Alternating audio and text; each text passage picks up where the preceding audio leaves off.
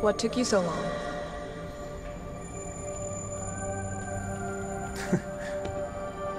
Our pier. I took you fishing here once. Why only once? You jumped in. No, I told you not to.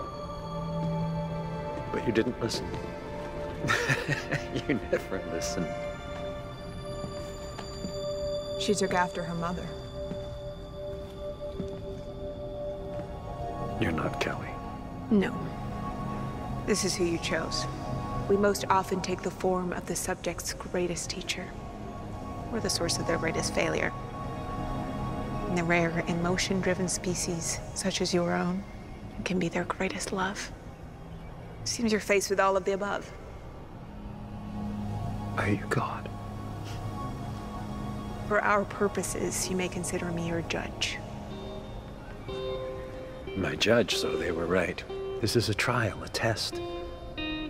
Not a war. Correct. The last of kind to stand before us, Becca, refused the test. Tell me, Dad, is the human race now ready to join us? Yes. We are ready. Excellent. Here's how it works. We talk. I ask questions you answer truthfully. If you do not, I will know it. If your answers are satisfactory, your consciousness and that of your entire species will become one with ours. You will transcend your human form and become infinite. If you fail to earn this evolutionary leap, you will be eliminated. Turn to Crystal the way the Bardoans and countless other civilizations before them were. Sound good? The first question is about love. So few species are given this gift, yet you have attempted to erase it in pursuit of this moment. Why?